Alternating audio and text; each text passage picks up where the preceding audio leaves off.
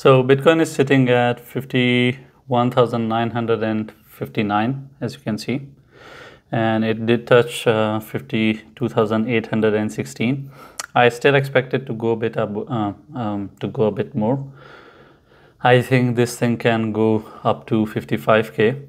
Uh, but the moment that we were waiting for for all this long um, to find the top and then finally start making our decisions and then decide whether from there it's going to go to $70,000 or whether it's going to go from there towards 44 first and then we can talk about the rest later. All that stuff will be decided now. Uh, we have been talking about this for more than five weeks now, uh, where I've been talking about the top and the and then the crash. and the top that I've been looking for is finally coming into place. Uh, if this doesn't become top, then this should turn into a floor. It will become either of it. It's not going to be um, anything else apart from that. It's either going to crash from there uh, when it is on the top, or whether it's going to it's going to pump.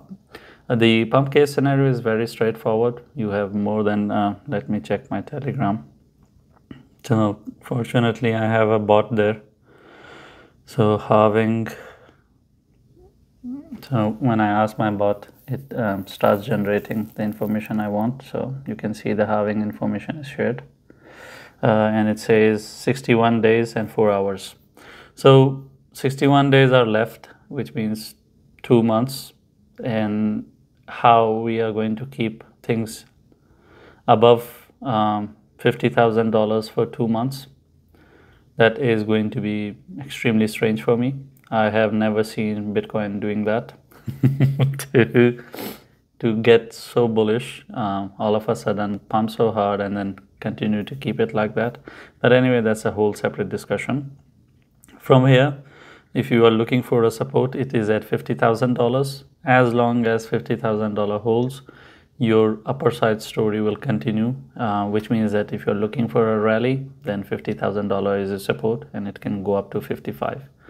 If you are thinking of it um, dropping out, then shorting a market like this is always very risky. That is something that you should keep in mind uh, when making a decision like that. So, um, but if you're looking for an exit, I think um, anywhere from 53 to 55k is a good range for an exit.